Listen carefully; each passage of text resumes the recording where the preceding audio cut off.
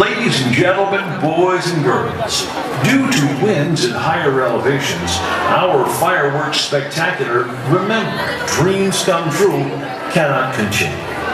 We regret any inconvenience this may cause you and hope you enjoy the rest of your evening here at Disneyland. Once again, our fireworks spectacular cannot continue due to high winds. Thank you. Damas y caballeros.